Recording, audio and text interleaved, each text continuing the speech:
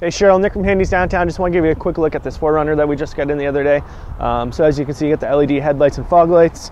Coming to the side, you're on a alloy wheel with brand new Cooper all-season tires on here. Um, pretty meaty tread on these. You do have the fold-away mirrors with the indicator lights um, and roof rack with the crossbars.